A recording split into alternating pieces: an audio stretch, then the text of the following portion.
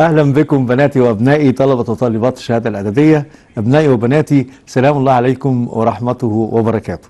آه إن شاء الله آه النهارده بسرعة كده هاخد آه فكرة عامة عن ال- الهندسة التحليلية عن الجزئية بتاعه الشكل الرباعي. إزاي أثبت الشكل الرباعي؟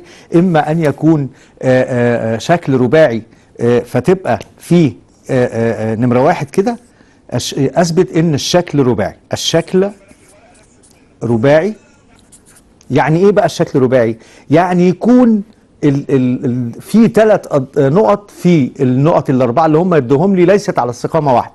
يعني أنا لو هبص كده إلى النقاط مثلا 2 و2 آه دي النقطه الف النقطه ب آه آه مثلا 2 و2 النقطة الثانية أهو لو أنا حطيت كده هذا هذه النقط قدامي أنا جهزتها لكم عشان ما نضيعش وقت. النقط بتاعتي 2 و2 أو تعالوا نبص كده النقطة الثانية سالب 2 و2 النقطة الثالثة دي نقطة ب النقطة الثالثة نقطة ج لها الإحداثيات 2 وسالب 2 النقطة الثالثة أو الرابعة سالب 2 وسالب 2 آدي ألف ب ج د دول أربع نقاط. أولا عايز أثبت إن الشكل شكل رباعي. يبقى معنى كده إنه الشكل رباعي يعني يتكون من أربع أضلاع يعني لكن آه، آه، آه، هما في ثلاث نقط منهم ليست على استقامة واحدة. فهجيب الميل بتاع ألف ب مثلا وهقول له الميل بتاع المستقيم فرق الصادات على فرق السينات. عادة لما باخد ألف وب بسمي فيهم واحد س واحد صاد واحد س اتنين صاد اتنين وابتدي أشتغل بقى. فرق الصادات يعني اتنين ناقص اتنين يعني هيديني هنا صفر. وهنا سالب 2 وسالب 2 يبقى سالب 4 على العموم يبقى الناتج يديني صفر. الميل بتاعي هنا بصفر معنى كده إن ده بيوازي محور السينات حتى لو أنا مثلتهم على المحاور الديكريتيه هبص ألاقي إن النقطة هتبقى عاملة كده فده هبص ألاقي ده يوازي ده وطبعا عارف ميل السينات يساوي صفر. أيضا لو أنا بقى جيت خدت ال- الخط ده أو ال- ال- المستقيم اللي يحمل هذه القطعة فأنا هاخد النقطة ألف مثلا والنقطة ج يبقى أنا هشوف ألف وجيم فتبقى دي س اتنين صاد اتنين أهي. فأنا لو قلت صاد اتنين ناقص صاد واحد فتديني فوق سالب أربعة. هنا قيمة غير معينة لأنه المقام بتاعها هيبقى بصفر. فرق الصادات هيساوي صفر وعلى ذلك مش هيطلع هنا بصفر هيبقى قيمة غير معرفة. معنى كده إن الميل بتاع ألف ب لا يساوي ألف جيم. يبقى معنى كده إن في ثلاث نقط ليست على استقامة واحدة فيكون الشكل ده شكل رباعي. طيب ادي اول مطلوب تاني ممكن يقول لي إيه؟ اثبت إن الشكل الرباعي ده متوازي اضلاع. نفس الكلام ده بس السؤال مش يقول لي اثبت إن الشكل الرباعي لا يقول لي اثبت إن هو متوازي اضلاع. عشان إذا كان متوازي اضلاع يبقى أنا ممكن أستخدم حاجات كتير قوي. إما إني ممكن أستخدم الميل ممكن أستخدم البعد بين نقطتين لأن متوازي اضلاع فيه كل ضلعين متقابلين متساويين في الطول وممكن أقول كل ضلعين متقابلين متوازيين فالاقي ميل ألف ب قد ميل ج د وميل ألف ج قد ميل آه، لو أنا شفت النقط كده على استقامة أهو تعالى شوف كده عايز يثبت إنه ألف ب ج ده يثبت إن ده متوازي اضلاع حاضر. يبقى أنا ممكن أجيب الميل بتاع ألف ب وميل د ج هلاقيه قد بعض. ميل ألف د قد ميل ب ج هلاقيه قد بعض. معنى كده إن كل ضلعين متقابلين متوازيين فيبقى الشكل أثبته إنه متوازي اضلاع تعال بقى نشوف السؤال لو هو بيقول لي اثبت إن النقط دي طبعا كله أنا شغال على واحد عشان أراجع لك بسرعة أنا ممكن أستخدم ده إزاي. أنا ممكن كمان في متوازي الأضلاع. أنا عارف ان في متوازي الأضلاع لو أنا رسمت كده متوازي الأضلاع كده بشكل كروكي كده ألاقي إن القطران ينصف كل منهما الآخر. فأنا ممكن أجيب نقطة التص... التنصيف بين النقطتين. يعني أنا لو هنا عندي ألف لها الإحداثيات 2 و2 وعندي هنا سالب 2 وسالب 2 أجي أجيب البعد بين النقطتين وهجيب المسافة اللي بينهم أو نقطة التنصيف اللي هو لو أنا هكتب ممكن ألاقي إيه؟ نقطة ميم. فأجيب ألاقي احداثيات نقطة ميم اللي بين ألف وجيم هي نفس احداثيات نقطة ميم اللي بين د أو ب ودال. ألاقي نفس هي النقطة منطبقة على بعضها. طيب يبقى أنا كده أثبتت إن الشكل متوازي اضلاع بإحدى الطرق. إما إن أنا هثبت إن كل ضلعين متقابلين متوازيين يعني معنى كده إن ميل ألف ب أو ميل كل ضلعين متقابلين متوازيين يبقى ميل ألف د قد ميل ب ج وميل ألف ب قد ميل د ج اثبتهم إن دول آآ آآ قد بعض الميلين فهتستنتج إن كل ضلعين متقابلين متوازيين فيكون الشكل متوازي أضلاع. تعالى ال- قلنا الطريقة الثانية تعالى بص كده معايا. أدي الطريقة الثانية هلاقي إن لو أنا جبت القطر ده والقطر ده وصلتهم كده. وهجيب نقطة التنصيف بتاعتي النقطة بتاعتي اللي بتنصف دول. إذا طلعت النقطة اللي بتنصف ألف جيم هي هي النقطة اللي بتنصف ب د وده هجيبها منين؟ هجيبها من العلاقة اللي إحنا عارفينها اللي هي نقطة المنتصف ميم ونقطة المنتصف ميم اللي إحداثياتها س وصاد بجيبها بالقانون بتاعي اللي هو بعمل كده أهو. آدي س وصاد وهقول له س واحد زائد س اتنين على اتنين وصاد واحد زائد صاد اتنين على اتنين. كده هجيب إحداثي نقطة ميم. منين؟ من النقطتين اللي هما اتنين واتنين وسالب اتنين وسالب اتنين. يبقى أنا عندي اتنين واتنين والنقطة اللي هي ألف. وجيم بقى اللي هي إحداثياتها إيه؟ سالب اتنين وسالب اتنين. وتعالى نعوض كده عن ال- الجملة اللي أنا خدتها فوق دي. يبقى آدي هنا س واحد صاد واحد. وادي س 2 صاد 2 يعني النقطة م اللي احداثياتها س وصاد هتطلع لي هيساوي س 1 زائد س 2 أو المجموع بتاعهم هنا آدي 2 زائد س 2 على 2 يبقى صفر. طيب تعالى بقى خد صاد. برضو هلاقيها صاد 2 ناقص صاد 1 برضو هيطلع لي صفر. فتبقى النقطة صفر وصفر. هي إحداثي نقطة المنتصف بالنسبة للاثنين ومتطابقة. يبقى النقطة اللي أنا هقدر أجيب بيها أو أعين بيها هيبقى المحاور بتاعتي عاملة كده وهتبقى نقطة الأصل موجودة في المنتصف. يبقى أنا قدرت أثبت أن هذا الشكل هو متوازي أضلاع. أيضا أستطيع أثبت على نفس النقاط كده يقول لي السؤال. ما هو السؤال هيبقى أحد الأسئلة زي ما قلنا اثبت إن شكل رباعي اثبت إنه متوازي أضلاع. طب الآن يقول لي اثبت أن الشكل مستطيل. إثبات أو لإثبات أن الشكل مستطيل. تعمل إيه؟ طبعا أنا مش بقول مسألة بعينها ده أنا بقول في أي مسألة تعمل إيه؟ أنا عارف إن المستطيل هو متوازي. شوف بقى تعريف المستطيل. هو بص كده بقى التعريفات دي كلها هو متوازي أضلاع. الله يبقى أنا أثبتت إنه متوازي إيه؟ أضلاع بالطريقة اللي إحنا قلناها على كده. طب وإيه تاني؟ وممكن أقول أزود عليه بقى إحدى زواياه قائمة. إحدى زواياه قائمة. طب أعرف منين بقى إحدى زوايا قائمة؟ قال لي آه ما أنت لما أثبتت إن متوازي اضلاع لقيت النقطة بتاعة تنطبق على بعضها. إذ هات بقى ميل ألف ب وهات ميل ب ج. اضربهم في بعض يديني سالب واحد. حتى تعالى شوف لو أنا هجيب ميل ألف ب الميل بتاع المستقيم ألف ب وهجيب الميل بتاع آدي ميم واحد وآدي ميم اتنين اللي أنا هقول عليه مستطيل اللي هو ب ج اللي هو ب ج لما هاجي اضربهم في بعض هبص الاقي إن حاصل ضربهم هيساوي سالب واحد. معنى كده أن المستقيمان دول متعامدان يعني إحدى زواياه قائمة. طيب أنا ممكن أجيب بقى أثبت إن الشكل مستطيل بشكل مباشر على طول. منين؟ قال لي المستطيل هو شكل رباعي أهو هو شكل رباعي. وفي ميزة حلوة قوي تريحني خالص إن القطران مش بينصف كل من هو آخر بس.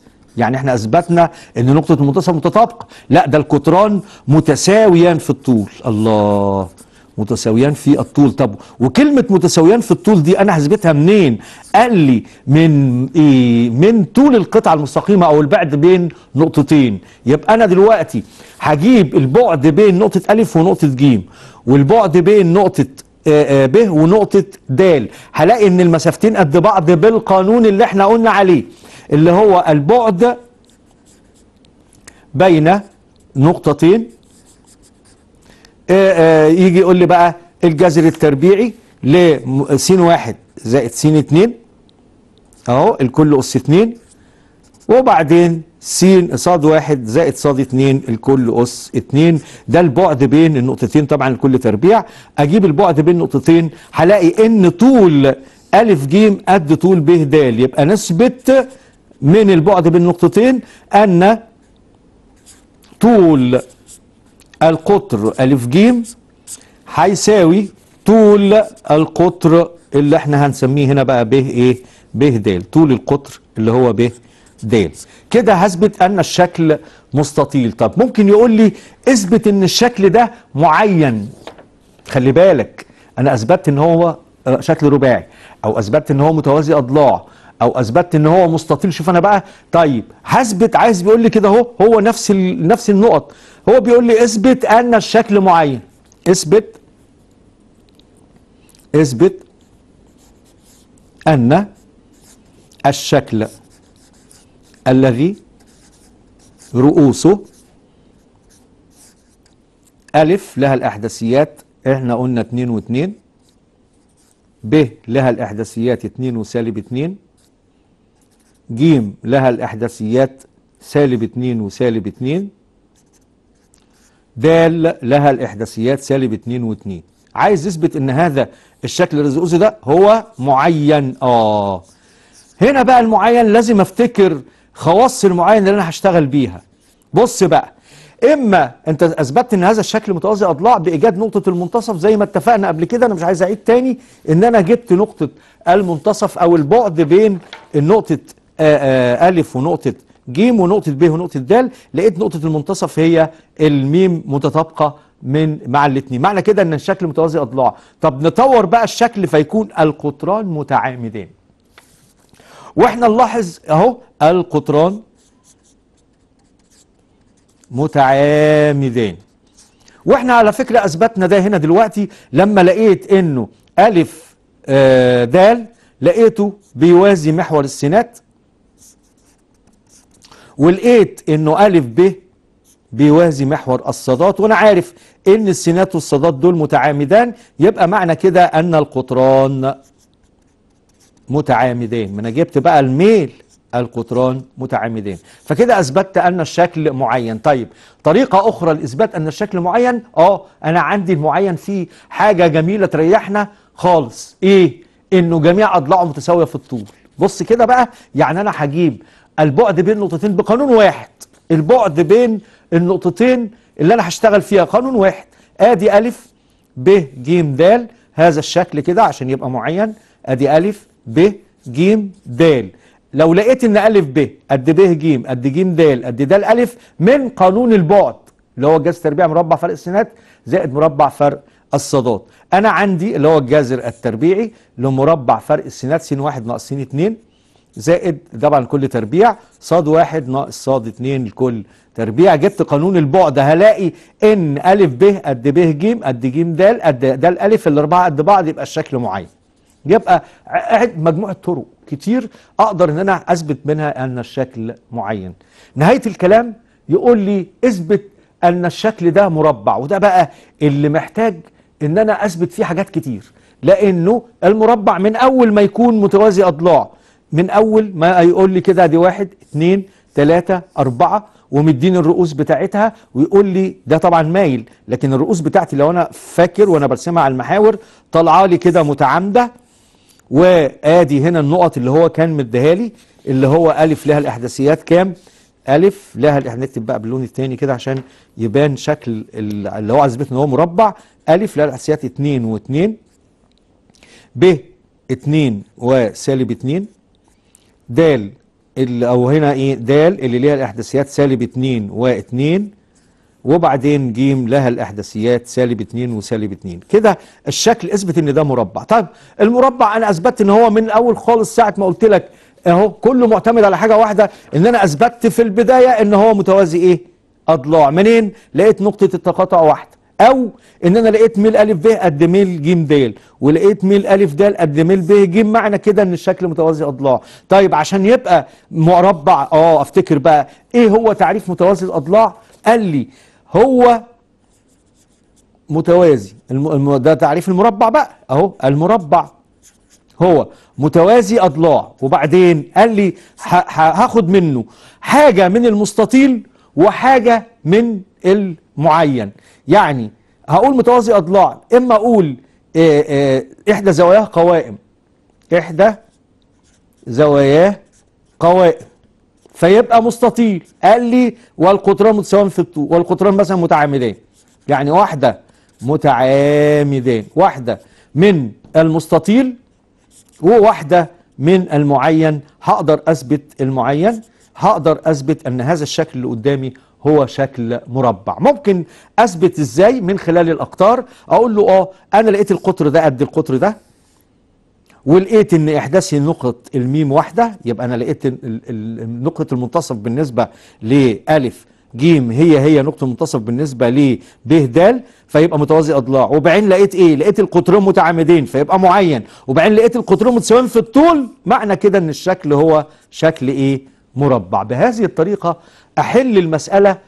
يعني أنت لو بصيت كده ومسكت الحلقة واحدة واحدة كده هتلاقي نفسك إيه؟ ممكن تحل المسألة ببساطة بالخطوات اللي إحنا قلناها.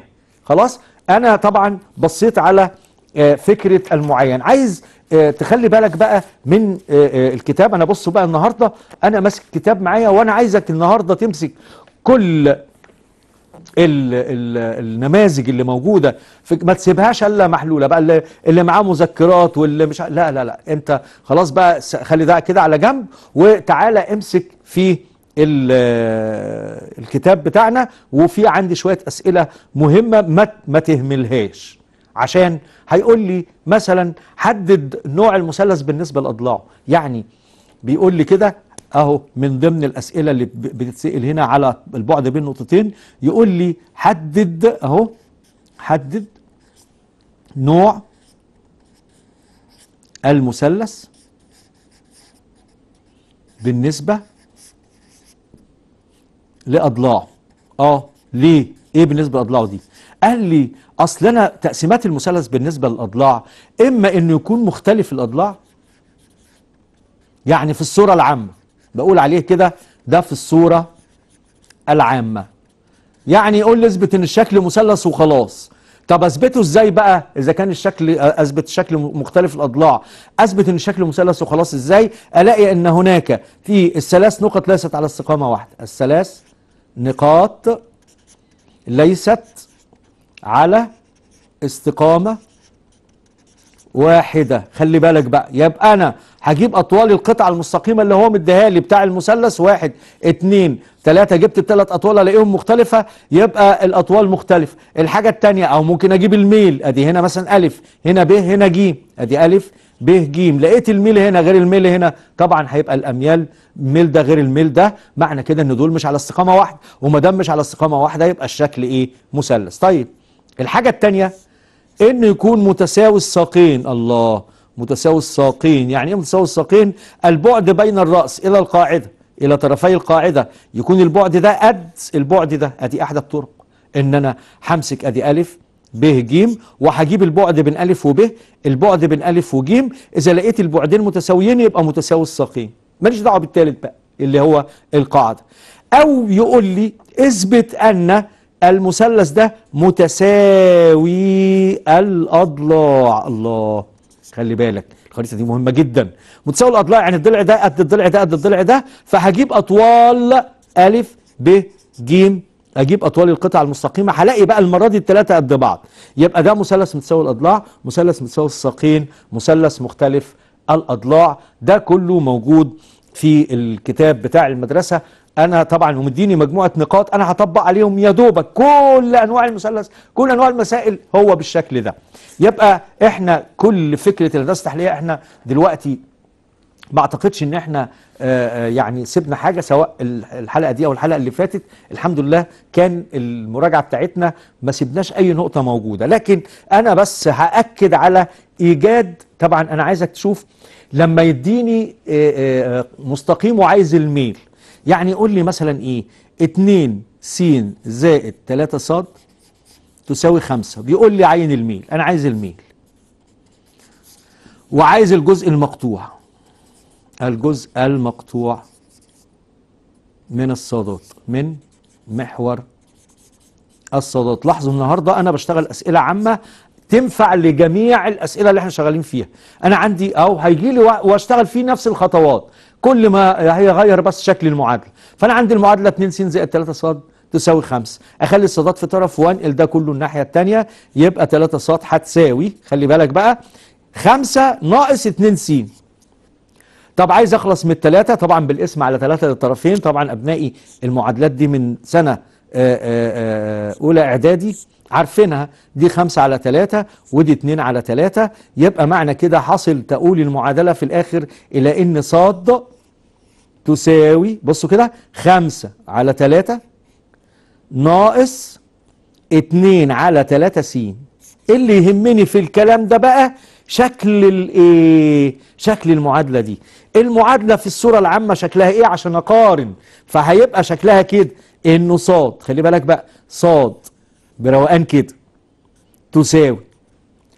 ميم يعني الميل. س زائد ج اللي هو الجزء المقطوع. لاحظوا بقى المعادلة دي؟ أنا هحطها كده أهو. أهي. أهو. هخليها كده عشان تبان. الصاد. بتساوي ميم س زائد ج أنا هعمل عملية مقارنة بين المعادلة اللي عندك وبين الصورة العامة. آه هنا ميم س يعني الميل هو معامل س يبقى الميل هنا بيساوي كام؟ آه يبقى الميل يساوي سالب 2 على 3 الميل سالب أهو. طيب هو هنا بيقول لي عايز الجزء المقطوع مع محور الصادات. النقطة هنا كده الجزء المقطوع اللي هو ج بيساوي كام؟ بيساوي خمسة على تلاتة. معنى كده إن أنا ممكن أرسم هذا الكلام بالنسبة للمحاور وأقدر أعين نقطة من ضمن النقط اللي هي خمسة على تلاتة يعني اتنين أو واحد وتلتين اللي هي مثلا النقطة دي يبقى المستقيم. والميل أصله سالب فهيبقى نازل آه، عامل زاوية مفرجة مع محور السينات. يبقى أنا رسمت شكل المستطيل. إنه في الميل إن كل اتنين بيقابلوا تلاتة في محور السينات شفتوا بناتي وأبنائي؟ قدرت إن أنا أخرج من فكرة آه، آه، آه، التحليلية اللي أنا آه، أنا طبعا عشان اسمعكم كده بناتي وأبنائي آه، هنا فكرة إن أنا هستخدم النقط بتاعتي في إثبات القطع المثلث إن هو مثلث أو ثلاث نقط ليست على استقامة واحدة عشان يبقى رؤوس لمثلث. أو أثبت إن الشكل رباعي شكل متوازي أضلاع شكل مستطيل شكل مربع شكل معين كل هذه الأسئلة هي فقط ما آه، آه، آه، سنسال فيه إن شاء الله في الامتحان. لكن آخر حاجة أعتقد إن الوقت هيداهمنا. لكن أنا آخر حاجة عايز أقول لك إنه هو يقول لي المستقيم المار بنقطة. مستقيم. خلي بالك عندي معادلة. مستقيم. مار بي- بين نقطتين. اللي هي كام وكام مثلا اتنين واتنين وصفر وصفر. بيقول لي اثبت إنه المستقيم ده هات لي ال- المستقيم هات لي المعادلة بتاعته. طيب لو أنا آه، آه، آه، خدت ال- اللي هنا هقدر أجيب الميل. يعني أنا هطلع الميل هيساوي فرق الصادات على فرق السينات يعني 2 على صفر يساوي صفر. واضح إنه الشكل كده أدي النقطتين وأدي النقطة 2 وكام؟ 2 وكام هنا؟ 2 و3 أدي 2 وطالع 3 وبعدين آه، النقطة صفر وصفر. اهو المستقيم أهو. يبقى شكله كده المستقيم. مر بالنقطتين دول. هو بيقول لي اثبت إن هو يوازي مستقيم آخر قبل ما نكتب الميل سالب واحد وأربعة وواحد وسبعة. هنا هلاقي هنا الميل بتاع هنا واحد ناقص واحد هلاقيه كده اهو اهو هعمل برضو هنا الميل فرق الصادات على فرق السينات اهو سبعة ناقص أربعة فرق الصادات يعني يساوي تلاتة وواحد ناقص آه ناقص واحد يعني على اتنين فيبقى تلاتة على اتنين. أيضا اللي هو ميل اهو تلاتة على اتنين برضو اللي هو ميل واحد وأدي ميل اتنين فبما أن ميل واحد يساوي ميم اتنين اذا المستقيمان متوازيان. هنا آه، آه، طبعا باستخدام آه، ال- المحاور بتاعتي تذكر حاجة مهمة جدا إنه إمتى يكون المستقيمين بتوعي مستقيمين متعامدين؟ إذا مثلا يقول لي إيه؟ إن مستقيم ميله يساوي صفر ده معناه إنه يوازي إيه؟ تمام محور السينات مستقيم ميله غير معروف اللي هو العمودي. ولاحظوا إن العمودي الميله غير معروف ليه؟ أصل هو مش مايل. يعني آه، ده هو عمودي عليه. عشان كده بقول ميله غير معروف. لكن ميل محور السينات هو بيساوي صفر. يبقى أدي الفرق بين الميل والميل العمودي على المستقيم آه، آه، بتاعي اللي موجود. لو أنا لو أنا بناتي وأبنائي فتحت آه، بعض النماذج في الإكمال بتاعتي آه، بالنسبة للهندسة. وإن شاء الله أنا مش هلاقي أنا الحمد لله كده غطيت كل آه، آه، التحليلية الحمد لله. وأعتقد إن أنا ما سبتش نقطة إلا ما حليناها. برضو عايزك تخش إلى ال- ال- القناة وتكتب في جوجل كده رياضيات الصف الثالث الإعدادي قناة النيل التعليمية أو قناة مصر التعليمية. بناتي وأبنائي كان معكم عادل عبد الموجود. فانتظروني إن شاء الله في حلقة قادمة. وسلام الله عليكم ورحمته وبركاته.